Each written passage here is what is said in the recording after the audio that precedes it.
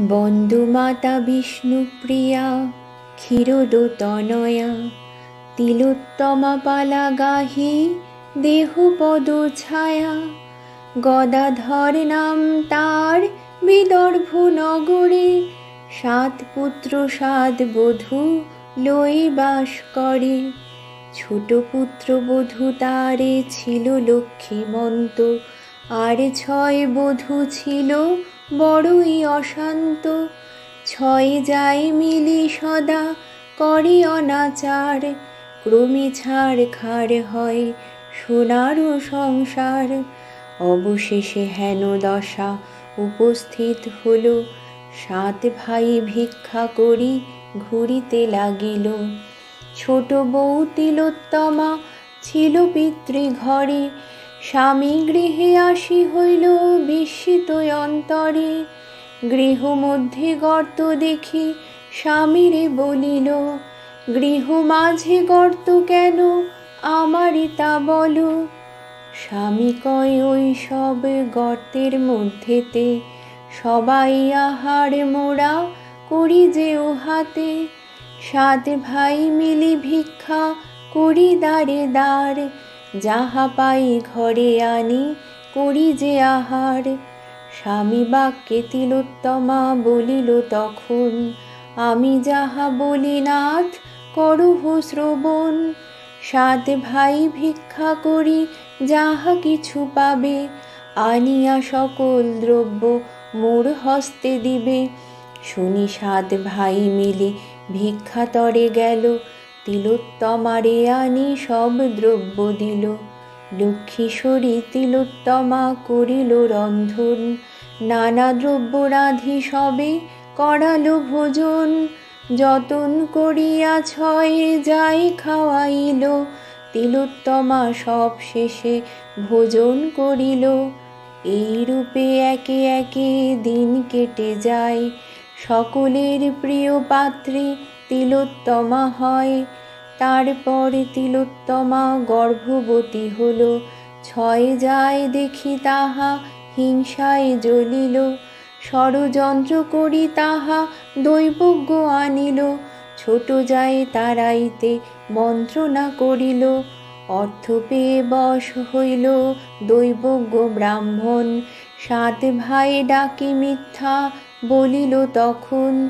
দৈবজ্ঞ বলিল, ডাকি শুনহ সকলে, সন্তান ভূমিষ্ঠ হলে মরিবে সকলে। দৈবজ্ঞের কথা শুনি সবে ভয় পায়, সাত ভাই তারে বলে, করিয়া বিনয়, কি করিব হে দৈবজ্ঞ, উপদেশ দাও। দৈবজ্ঞ বলিল, ওরে, বনিতে পাঠাও। সব কথা ছোট ভাই গোপাল শুনিল গোপাল আসিয়া তিলোত্তমারে জানালো। চলো তোমারে খেয়ে আসি পিতারও আগারে, আবার আনিব তোমা প্রসবের পরে। এই রূপ মিথ্যা বলি তিলোত্তমা লয়ে গোপাল চলিল অতি দুঃখিত হৃদয়ে। ক্লান্ত হয়ে তিলোত্তমা গোপালের বলে এখানে বিশ্রাম করি, যাব শেষকালে। স্বামী কোলে মাথা রাখি, সতী ঘুমাইল। নিদ্রা গেল তিলোত্তমা, গোপাল পালালো। নিদ্রা ভঙ্গে তিলোত্তমা, না দেখি স্বামীরে। কোথা প্রাণনাথ বলি, ডাকে উচ্চই স্বরে। অকস্মাদ দৈব বাণী তিলোত্তমা শুনে, উতলা হইও না সতী, ধৈর্য ধরো প্রাণে। ছজায়ের ষড়যন্ত্রে কুবুদ্ধি হইয়া স্বামী তব পলায়েছে বনবাসে দিয়া। বনপ্রান্তে বাস করে কাঠুরিয়াগণ, সেই স্থানে তুমি সতী করহ গমন। কিছুদিন থাকো তুমি কাঠুরের আলয়, পুনঃ ফিরে পাবে স্বামী হইলে সময়। কাঠুরে গৃহেতে দৈব বাণী শুনি গেল কাঠুরেকে সব কথা কাতরে বলিল, শুনিয়া কাঠুরে বলে, চিন্তা নাহি মাতা, যতদিন খুশি তুমি বাস করো হেথা, শুনি তাহা তিলোত্তমা শিথা করে বাস।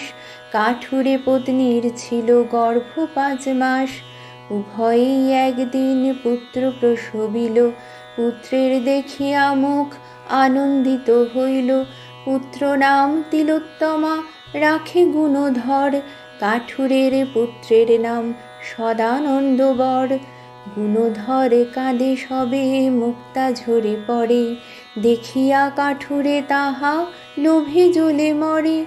একদিন সে কাঠুরে সুযোগ বুঝিয়া গুণধরে চুরি করে নিজ পুত্র দিয়া।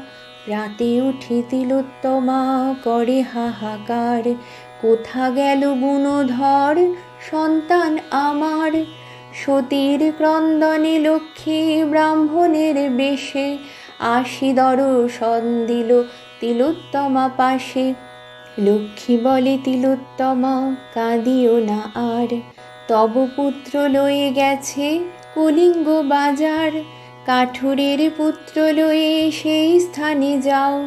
আমি রক্ষিব তোমা ভয় নাহি পাও। সেই স্থানে পুত্র আরে স্বামীরে পাইবে। তোমার সকল দুঃখ অবসান হইবে। লক্ষ্মীরও আদেশ পেয়ে তিলোত্তমা সতী কলিঙ্গ উদ্দেশ্যে যায় অতি দ্রুত গতি। এদিকে সে কাঠুরিয়া লয়ে গুণ ধরে মুক্তাহার ভেট দিল কলিঙ্গ রাজারে। ভেট পেয়ে মহারাজ দিব্যপুরী দিল। সে পুরীতে কাঠুরিয়া বসতি করিল। শিবের মন্দির এক করিয়া গঠন। শত শত দিন দুঃখী করায় ভোজন। ষোড়শ বৎসর গুণধর সবে হইল। সেই দিন তিলোত্তমা কলিঙ্গে আসিল। শিবের মন্দির দেখি বিশ্রাম কারণে ক্লান্ত হয়ে তিলোত্তমা বসিল সেখানে। হেনকালে গুণধরে সেখানে আসিল। তিলোত্তমারে দেখি বিস্মিত হইল।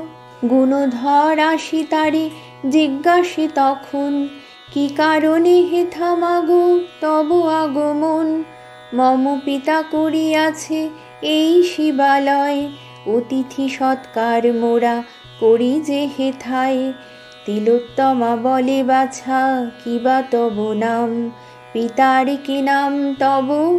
কোথা তব ধাম? শোনো মাগো মোর নাম, হয় গুণধর। ওই হ্যারো অট্টালিকা আমার পিতার। মম পিতা মাতা মাগো থাকে ওই স্থানে। এ রাজ্যে এসেছি মোরা বাণিজ্য কারণে। এই রূপে দুইজনে আলাপন করে। নিজ পুত্র তিলোত্তমা বুঝিল অন্তরে। তিলোত্তমা এক দৃষ্টে দেখিতে লাগিল, গুণধর বলে, মাগো, কি দেখিছ বলো? তিলোত্তমা বলে, পুত্র, তোমারই কারণে নানা দেশ খুঁজে শেষে এসেছি এখানে। ঝরিত মুকুতা তুমি করিলে ক্রন্দন, কাঠুরিয়া তাই তোমা করেছে হরণ। তোমারে করিয়া চুরি এসেছে এখানে।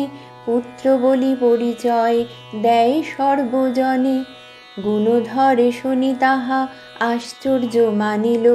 গৃহে ফিরে কাঠুরেকে জিজ্ঞাসা করিল, গুণধর বলে পিতা, জিজ্ঞাসি তোমারে পিতা মাতাকে বা মোর বলহ আমারে? জ্যোতিষীর সনে মোর পথে দেখা হইল। তুমি মোর পিতা নহ গনিয়া বলিল, সেই কথা শুনি মোর সন্দেহ হয়েছে। সত্য কথা বলো পিতা, তুমি মোর কাছে। কাঠুরিয়া বলে পুত্র, ইহা সত্য কথা। পাঁচ মাস যবে তুমি মরে তোর মাতা। অনাথে দেখিয়া তোরে করেছি পালন। মিথ্যা নহে ওরে বাছা জ্যোতিষ বচন, শুনি তাহা গুণধর কাঠুরে রে কয়, মাতা মোর মরে নাই, এসেছে হেথায়। তব পুত্র সাথে লয়ে খুঁজিতে খুঁজিতে এসেছেন তিনি এই কলিঙ্গ রাজ্যতে। শুনি তাহা গুণধর কাঠুরে রে কয়, মাতা মোর মরে নাই, এসেছে হেথায়। তব পুত্র সাথে লয়ে খুঁজিতে খুঁজিতে এসেছেন তিনি এই কলিঙ্গ রাজ্যতে। বিশ্বাস না হয় যদি, চলো মোর সাথে। শিবালয়ে আছে বসে, দেখাবো সাক্ষাতে। ভয় কাঠুরিয়া গুণধর সাথে গেল, তিলোত্তমা নিকটেতে উপস্থিত হইল। কাঠুরিয়া নিজ পুত্রে কোলে তুলি নিল গুণধরে তিলোত্তমা বক্ষেতে ধরিল, পুত্র পেয়ে তিলোত্তমা যায় খুশি মনে। পথে দর্শন হইল লক্ষ্মী দেবী শনে। তিলোত্তমা আর গুণধরে সঙ্গে করে উপস্থিত হইল তারা কানন মাঝারে। বিশ্বকর্মারে লক্ষ্মী স্মরণ করিল ক্ষণ মধ্যে বিশ্বকর্মা তথায় আসিল। লক্ষ্মী বলে বিশ্বকর্মা, করহ গঠন, দিব্য এক অট্টালিকা, অতি মনোরম। আজ্ঞা পেয়ে বিশ্বকর্মা প্রাসাদ গড়িল, বাজার, নগর, গড় সব নির্মাইল। গুণধরে লক্ষ্মী মাতা দিল রাজ টিকা গুণধর রাজা হইল, পড়ে যায় ঘটা। এদিকেতে সাত ভাই দুঃখে দিন চলে। যে অবধি ছোট বধূ বনবাসে দিলে, সাত ভাই ভিক্ষা করে পেটেরও জ্বালায়। কভু অর্ধাসনে কভু উপবাসে যায়। একদিন লক্ষ্মী দেবী গুণ ধরে কয়, এক সরোবর বাছা করহ হেথায় লক্ষ্মী আজ্ঞায় গুণধর ঘোষণা করিতে, দলে দলে লোক আসে মজুর খাটিতে। ছয় ভ্রাতাগণ সহ গুণধর পিতা, লোকমুখে শুনিতে পাইল এ সাত ভাই মজুর খাটিতে তথা এলো, নিজ পতি তিলোত্তমা চিনিতে পারিল। গুণধরে বলে, সতী, এই তব পিতা এদের প্রণাম করো, হেট করি মাথা। পরিচয়ে সবাকার পরাপর হইল। তিলোত্তমা পাশে সবে ক্ষমা চেয়ে নিল। রাজ্য করে গুণধর পরম হরিষে। প্রজাগণে পালে রাজা, পুত্র নির্বিশেষে। তিলোত্তমা উপাখ্যানে শ্রীশঙ্কর ভনে। প্রণাম করহ সবে লক্ষ্মী নারায়ণে তিলোত্তমা উপাখ্যান হইল সমাপন। জয় জয় লক্ষ্মী মাতা বল সর্বজন।